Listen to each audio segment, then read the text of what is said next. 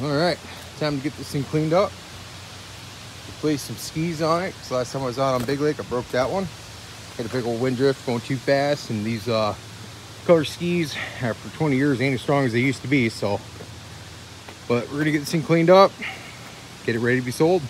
It's all right, I am selling XC700, but that's okay. It'll fund building other sleds, so hell yeah. Gonna hit it with the pressure washer, with the widespread tip so I don't blow nothing off it, but here we go. All right, this thing's looking pretty good. Swapped out my windshield because I can't give it up. It's got my racing numbers. Um, give the guy an option. Has brand new smoke flared windshield or brand new white flared windshield. He chose the white one, and I can't say nothing. I think the white looks best too. Uh, dash bag's drying off right now. But yeah, it's coming together, looking pretty good. Um, the guy's super pumped about it. So, yeah, it's going to be kind of sad to see this one go. It's a pretty unique build, having the VES, VES, however you want to say it, uh, 700 under the hood. But put some good miles on it this winter. Thing ran great. I wish I would have got more video of me riding this, but honestly, this winter I was just having fun riding. So, yeah. All right, here we go. Got this thing jacked up. Time to pop these skis off. Luckily, it's been super easy because I have brand new hardware and bushings and spindles and everything from when I put the skis on, like last freaking winter or whenever I put the skis on. I honestly don't remember. It's been a couple years. And uh, so, yeah. Time to get this popped off. Because of that. I tell you what, there's nothing more beautiful than brand new hardware and skis that just come right off. So if you guys are anything like me, you have absolutely fought and had to cut bolts off and all kinds of stuff to move skis, and that is a wonderful thing. Anyways, time to go find some different skis to put on this. little sidetracked here. We got so many sleds to build still. We got the XCR 440 700 looking rough. XCR 44800 mod needs finished. Pro XR 800 needs built. XC700 needs built. And come back here. Got that Pro R600. Need to do top end on it. That thing's gonna go, I don't know. I think I'm gonna part this X2 out.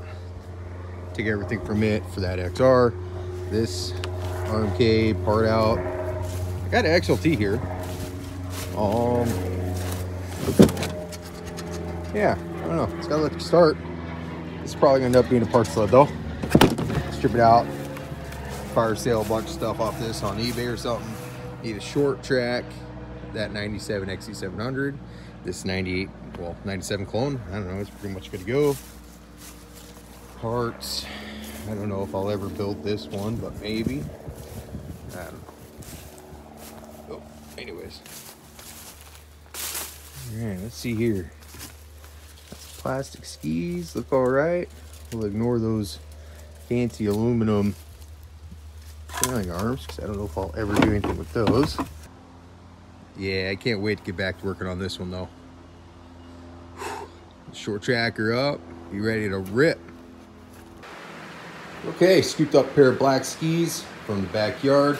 I am hoping I'm able to get the spindle bolts removed and otherwise I end up having to cut the bolts stuff like I was saying I don't like doing but old stuff sometimes you gotta do it. I'm gonna get the cotter pins pulled out of these castle nuts get them zipped off and uh, pretty god those come out. If not maybe I'll use the press which I never freaking use but yeah. I don't know if I ever showed somebody this a real 97 XC700 seat. It's not perfect, got a good deal on it. That might end up on one of my other projects. Originally, I bought it for my 97 XC, so I could put the perfect seat on the bench or shelf and use that as my rider, but it might end up on another sled. More details come on that though. But I mean, hell, like I know, my plans literally change day to day to what's happening with parts. So it's just at what builds I'm gonna work on. I never have any clue. I'm just winging it. So all I know is for now, I gotta get this thing up to par with skis that aren't broken. So back to it. Okay, there's one down. Hopefully this one comes right out too. Okay, naturally, this one's fighting me. Bolt won't come out.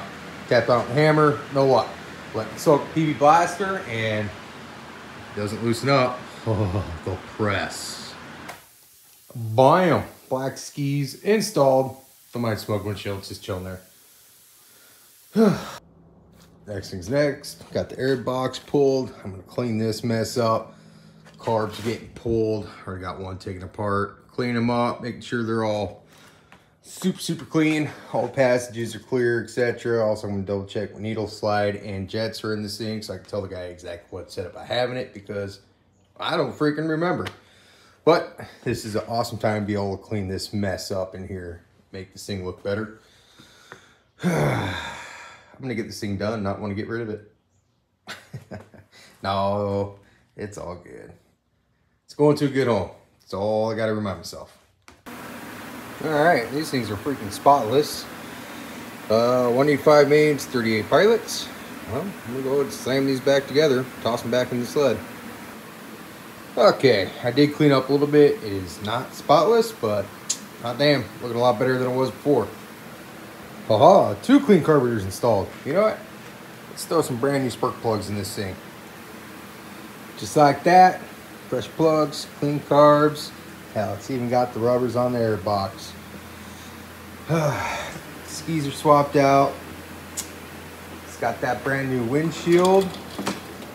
When I say brand new, I mean brand spanking new. I took it out of the bag on the sled it went. Uh, I still need to put the dash bag on, but that's easy stuff there. Seems looking pretty dang good. A little sad about getting rid of my dual rates up front, but it is what it is.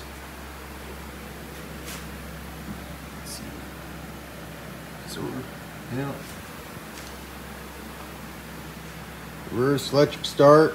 This is a rare bird. Granted, it needs a battery. Electric start don't work. it does if I put a battery charger on it, but otherwise it don't work. Oh man, it got dirty again. No! I'm trying to do beauty shots. Can't do it when she's all dirty. There we go. Yeah. Anyways, I'm pretty pretty confident guy's gonna be oh, Whoa, I almost died. I just tripped over the ski.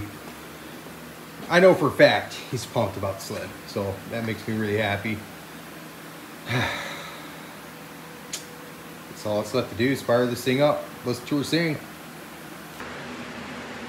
Okay, so I ran this thing on choke before shutting her down, pulling carbs. I'm hoping choke, fire right up, run long enough to prime the carburetors and everything.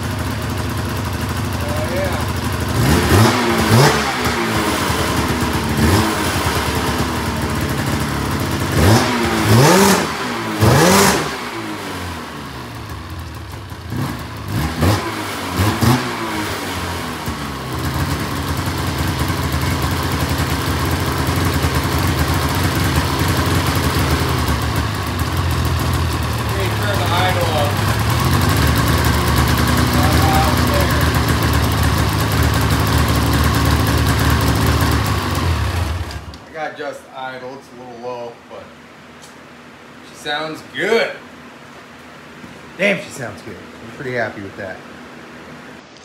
And by happy, happy with that, I mean, I'm sure the guy that's buying it's going to be happy with it. keep getting people telling me to quit selling the 98s because this ain't the first one I've sold. Uh, it's probably, I think two years ago, I built a 98 and I sold it.